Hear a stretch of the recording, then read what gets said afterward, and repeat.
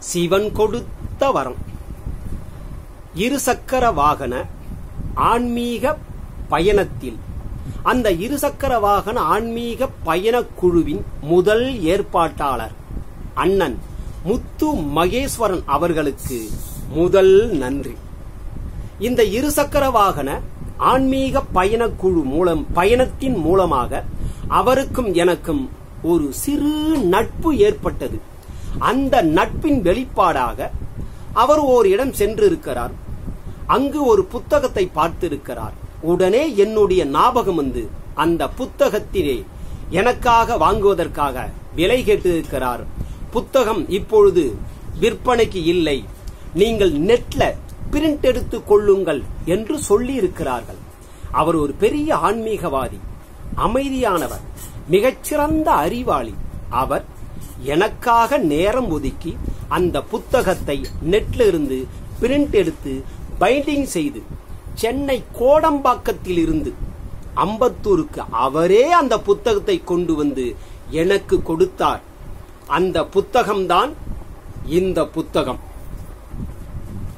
நோய்களை குணப்படுத்தும் இந்து கோயில் மரங்கள்.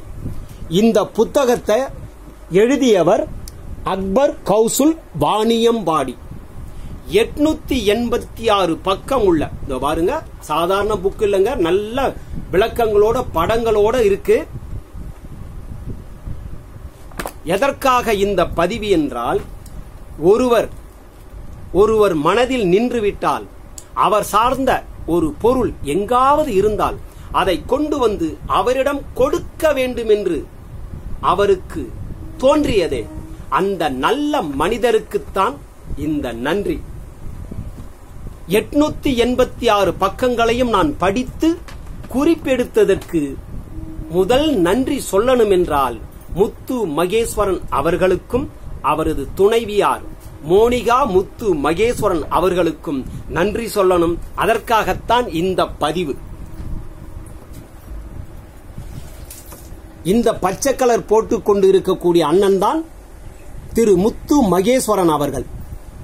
இந்த பச்சை உடை போட்டுக்கொண்டு இருப்பவர்தான் மோனிகா முத்து மகேஸ்வரன் அவர்கள்.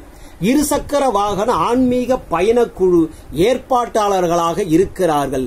அவ்வளவு பிஸியாக இருக்கும் இந்த நல்ல மனிதர் எனக்காக இந்த சித்த மருத்துவத்திற்காக நேரம் ஒதுக்கி ஒரு எட்நூத்தி எண்பத்தி ஆறு புத்தகம் ஒரு அற்புதமான புத்தகத்தை அதை பிரிண்ட் எடுத்து பைண்டிங் செய்து என்னிடம் கொண்டு வந்து கொடுத்ததற்காக நன்றிக்கான பதிவுதான் இந்த பதிவு.